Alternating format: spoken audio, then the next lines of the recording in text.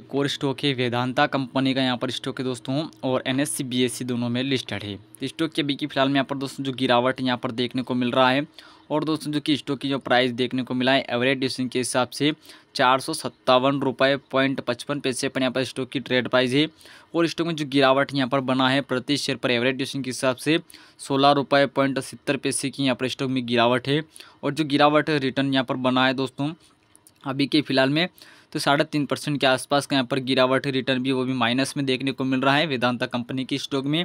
तो अगर आप वीडियो पर पहली बार विज़िट करते हो तो चैनल को ज़रूर सब्सक्राइब करें। प्यार छोटा सा लाइक करना ना बोले दोस्तों। वेदांता कंपनी की स्टॉक में दोस्तों, जो कि यहाँ पर लगातार अच्छी खासी यहाँ पर बाइंग की तरफ़ की मोमेंटम यहाँ पर देखने को मिलता है स्टॉक में। फिर गिरावट बनता है, फिर बढ़ोतरी, फिर गिरावट, फिर बढ़ोतरी देखने को मिलता है, फिर वहीं से जो गिरावट यहाँ पर देखने को मिला वेदांता कंपनी के स्टॉक में, फिर थोड़ी सी बढ़ोतरी देखने को मिला, फिर गिरावट बना है।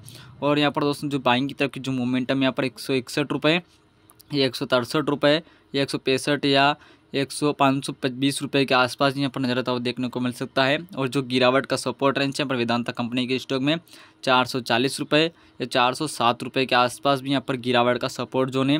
और ये ब्रेक करता है तो यहाँ पर दोस्तों तीन सौ रुपये तीन सौ पैंसठ रुपये के आसपास भी यहाँ पर गिरावट की सपोर्ट जोन भी नज़र आता हुआ देखने को मिल सकता है वेदांता कंपनी के स्टॉक में। अगर आपको यहाँ पर सटीक जानकारी अच्छी लगी हो और वीडियो पर पहली बार विज़िट कर रहे हो तो चैनल को ज़रूर सब्सक्राइब करें। प्याज थोड़ा सा लाइक करना ना भूलें दोस्तों।